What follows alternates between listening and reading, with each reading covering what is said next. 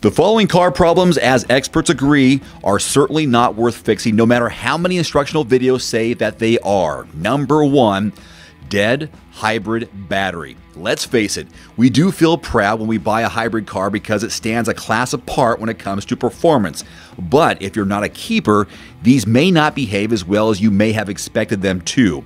If a hybrid battery has given up, it is only wise to buy a new car rather than to invest in a replacement battery. If you do wish to replace it, be prepared to shell out anything from $1,000 to $6,000 depending on the model of your car. They cost a lot. Invest in a new car instead. Number two, electrical glitches.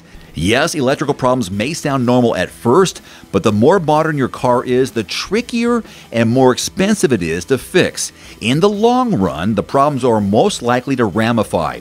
Ultimately, you will want to get rid of your car, so it may be a great idea to start looking for a prospective buyer as soon as you diagnose the first electrical glitch symptoms. Number three, a blown up head gasket. This is one hard and fast rule. When is it not worth repairing your car? When the head gasket is broke as a joke.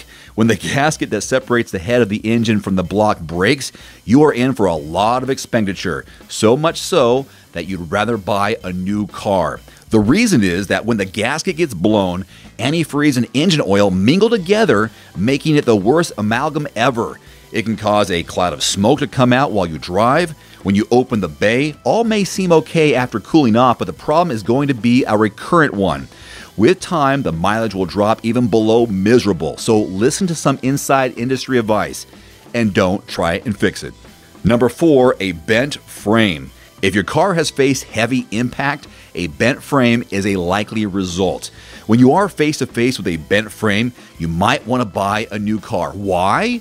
Because a bent frame, more often than not, causes harm to the main frame of the car. With that, it's likely that the inner parts are damaged as well. Some experts may even set this frame right for you, but it will always depend on the extent of the damage. The more the damage, the lesser the chances that the frame can come back to shape. Anything less than perfect can prove to be hazardous for your safety. If the bend is beyond the crumple zone meant to protect the car in case of heavy impact, a bent frame can compromise that very aim.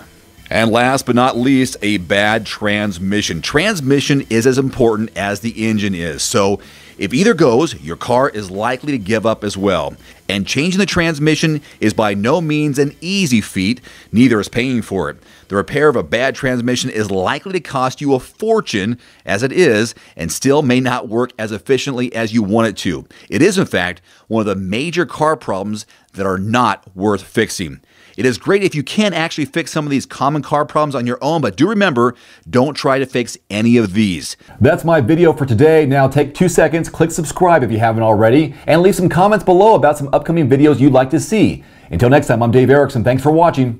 Adios. One more thing before you go, I've added links to some of the best selling automotive accessories on Amazon right now, along with links to some of my product reviews. You'll find it in the description below this video.